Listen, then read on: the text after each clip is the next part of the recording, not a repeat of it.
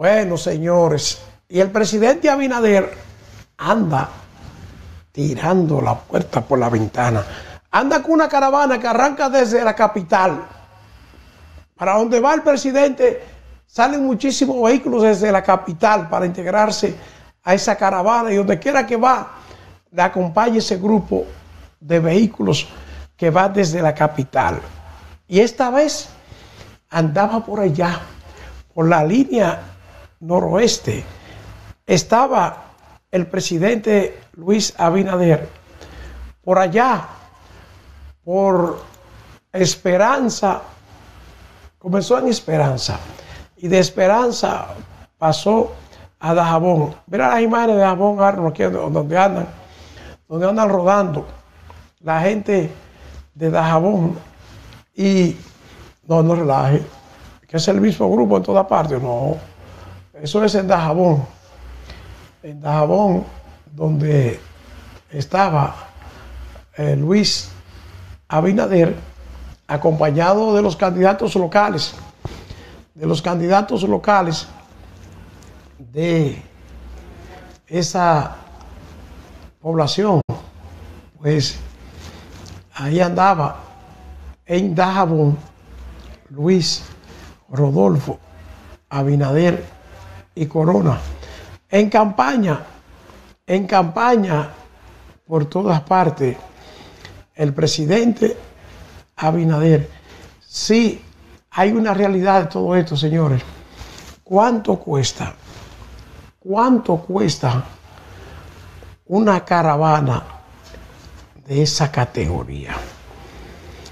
Esa es la pregunta que muchos se hacen. ¿Cuánto le costará al país, al país esa caravana? Esa caravana del presidente Luis Abinader, que la encabezó este sábado en pueblos de las provincias del noroeste, como fue en Dajabón, donde está esa caravana en respaldo a candidatos congresuales y en busca de su reelección.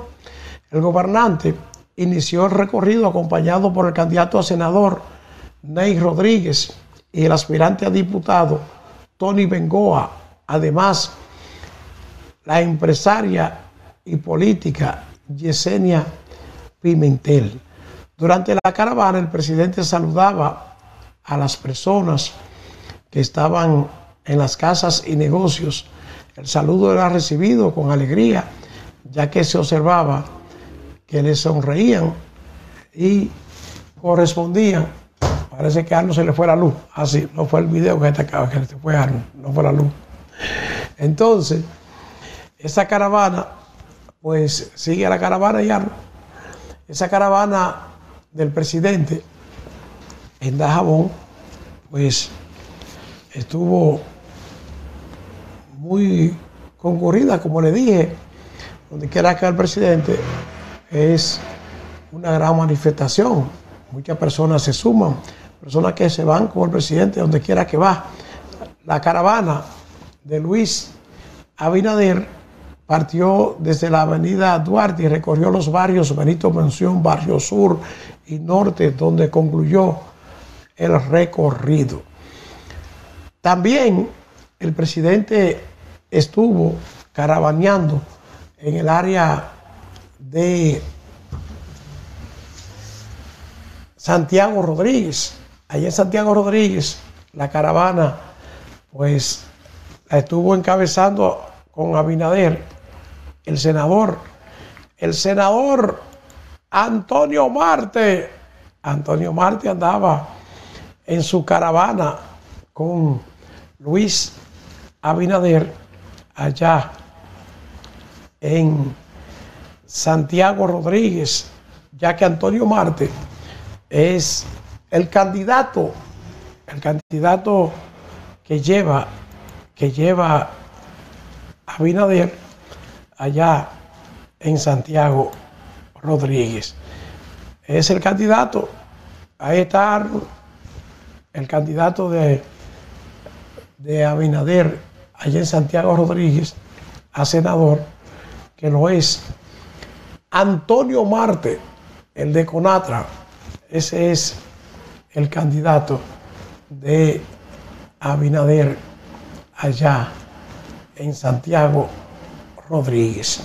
Ahí está el recorrido que hizo Abinader con Antonio Marte en Santiago Rodríguez. Y está Abinader haciendo este tipo de recorrido. Parece que es la forma que él tiene de hacer campaña.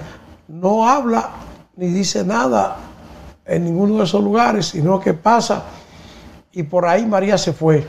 Se va de una vez y no dice absolutamente nada en esos pueblos donde se hacen esas manifestaciones.